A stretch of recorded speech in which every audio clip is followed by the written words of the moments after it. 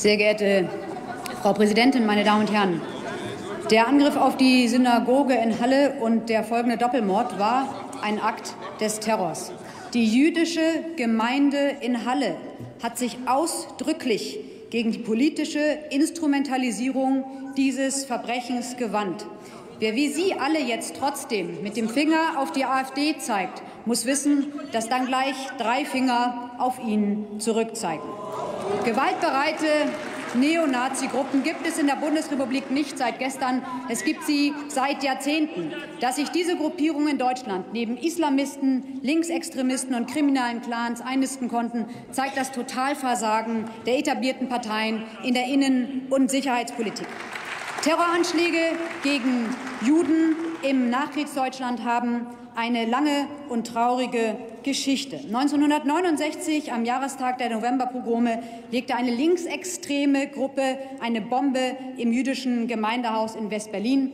1970 ermordeten arabische Terroristen bei den Olympischen Spielen in München elf israelische Sportler.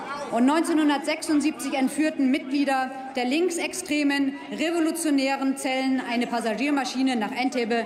Dort trennten sie Juden von den Nichtjuden und behielten nur die Juden als Geisel, um sie gegebenenfalls zu ermorden. Ich empfehle Ihnen das Buch des Historikers Jeffrey Herf Unerklärte Kriege gegen Israel, die DDR und die westdeutsche Linke. Daraus zitiere ich mit Erlaubnis der Präsidenten einen Satz. Diese Linksextremisten waren die ersten Deutschen seit dem Holocaust, die wehrlose Juden mit der Waffe bedrohten. Zitat Ende.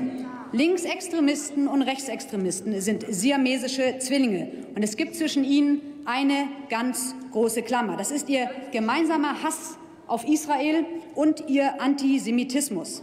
Dieser Antisemitismus ist kein Randphänomen gewalter Extremisten. Er kommt aus der Mitte des linksliberalen Milieus, aus linksliberalen Leitmedien und aus dem linken Kulturbetrieb. Die vergiften das gesellschaftliche Klima. Das ist der Boden, auf dem der Terror wächst.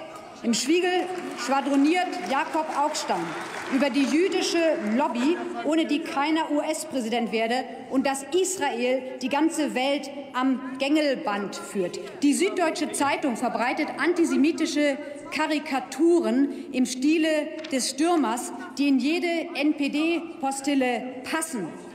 Und in der Süddeutschen hat der SPD-Mann Günter Grass, ehemaliger Angehöriger der Waffen-SS, Israel zum größten Feind des Weltfriedens erklärt.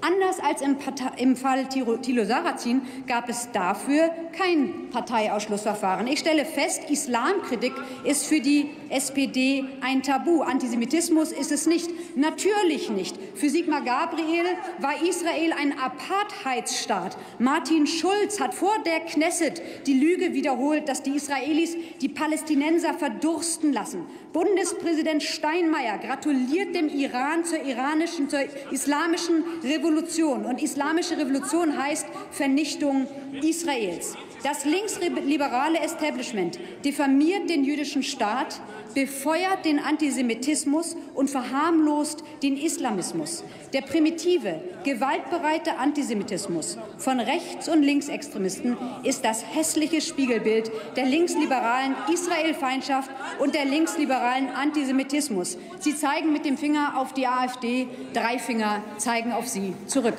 Vielen Dank.